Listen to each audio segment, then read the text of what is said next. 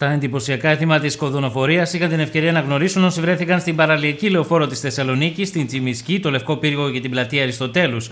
Πρόκειται για εποχικά δρόμενα μεταμφιέσεων που ανέπτυξαν οι γεωργοκτηνοτροφικέ κοινωνίες, πιστεύοντας ότι προστατεύουν την παραγωγή τους, ειδικά κατά την κρίσιμη εναλλαγή των εποχών. Με την πομπή ολοκληρώνονται για φέτος οι δρόμοι του Κουδουνιού, που παρουσιάζουν μέσα από ποικίλες εκδηλώσεις ένα εκοφαντικό έθιμο το οποίο συναντάμε στην Ελλάδα αλλά και σε περιοχές της Ευρώπης. Η κάθε ομάδα μόλις έφτανε στην πλατεία Αριστοτέλους αναπαριστούσε τα δρόμενα της περιοχής της.